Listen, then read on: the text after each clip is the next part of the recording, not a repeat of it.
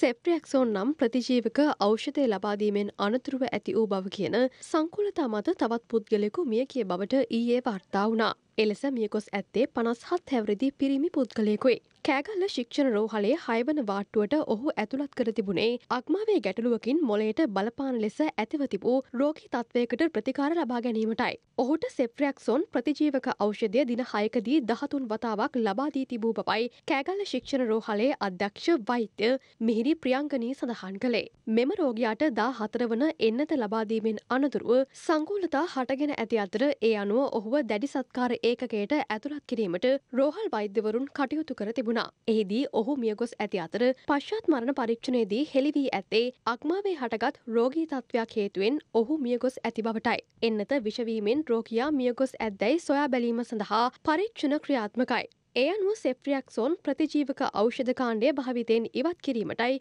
කෑගල්ල ශික්ෂණ රෝහලේ පාලනාධිකාරිය තීරණය කර ඇත්තේ. එදා තාත්තට කොහොමහරි අටට විතර විදල තිබ්බ බෙහෙතක් ළඟ හිටපු අයත් කිව්වා.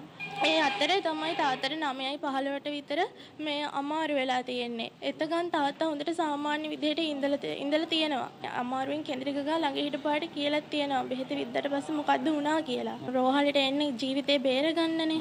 ඉතින් අපේ තාත්තා දැන් මෙහෙම මැරෙන්න ලෙඩකින් නෙමෙයි ආවේ. කට දෙපැත්ත වණ වෙලා ඒකට බෙහෙත් ගන්න ආපු එකට අද තාත්තට මිනි පෙට්ටියේ ඉන්න වුණා. ඉතින් මම හැමෝගෙම ඉල්ලන්නේ අපේ තාත්තට සාධාරණයක් ඉෂ්ට කරලා දෙන්න කියලා. ආය මේ වගේ දෙයක් නොවෙන්න.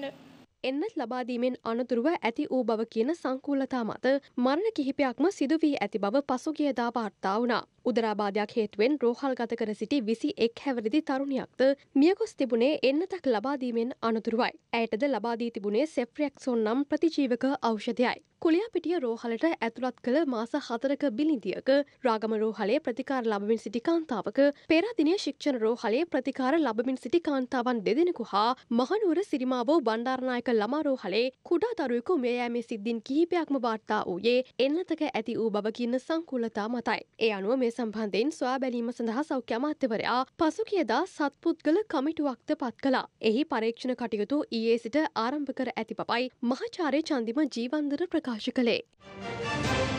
රටේ ලෝකෙ සිදුවන උණුසුම්පුව දැනගන්න සියත නිවස් YouTube චැනල් එක අදම සබස්ක්‍රයිබ් කරන්න.